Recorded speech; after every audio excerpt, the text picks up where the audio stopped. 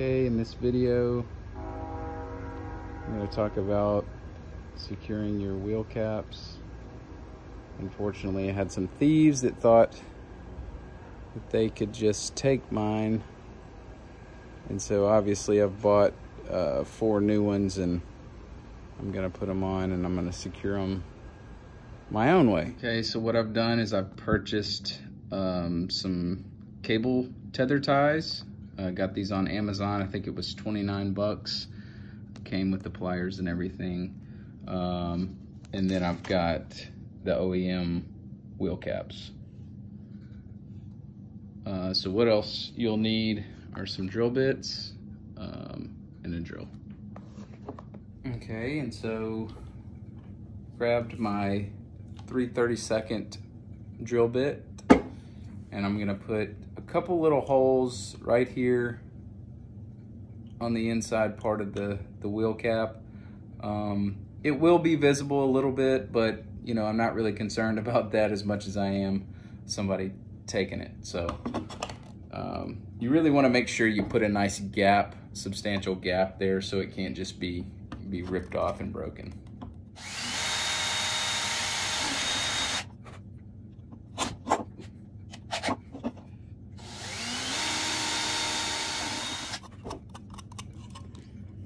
All right, and what we'll do next is we'll take our cable and we'll feed it up through the inside, make a loop and come back through the second hole like so. So what you're wanting to do is put your locking side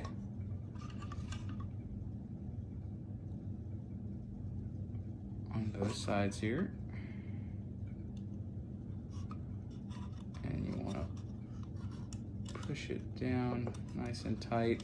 There's a lot of slack here, so what I'm going to do um, is I'm going to come through the second side um, a pretty good bit just to eliminate any slack in the inside portion of the, the wheel cap where the lugs are. Um, so you'll have something like that. And so now I'll take my, my pliers and I'll crimp these.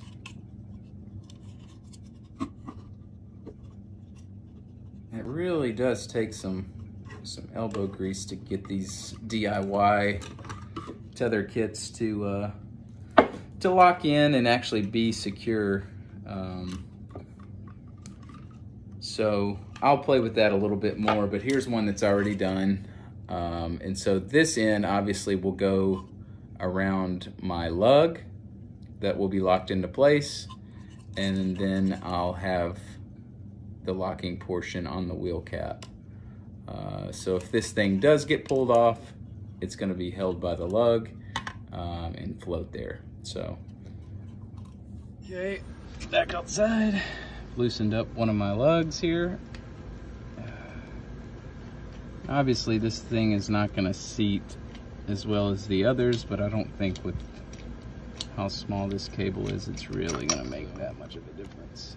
What you're wanting to do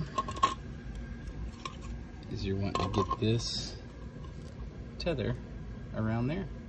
And so I'm gonna do that and take a rubber mallet and pop this thing on. Uh, should be good to go. All right, so got the lug back on, as you can see there. Nice attachment.